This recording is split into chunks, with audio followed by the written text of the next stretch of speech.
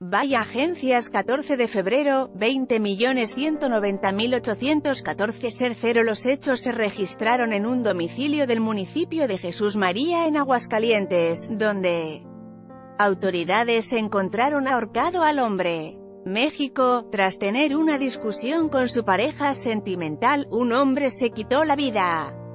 El municipio de Jesús María, Aguascalientes. Los hechos se registraron alrededor de las 2 de la tarde horas en la calle Mezquital.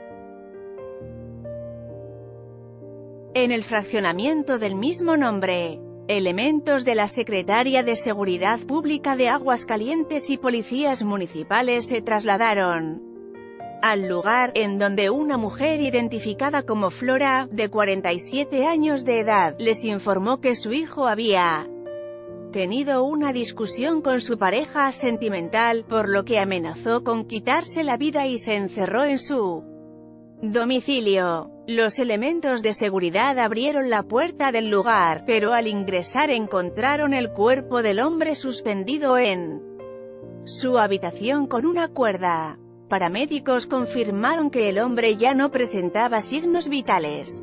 Con información de Excelsior Ser Cero.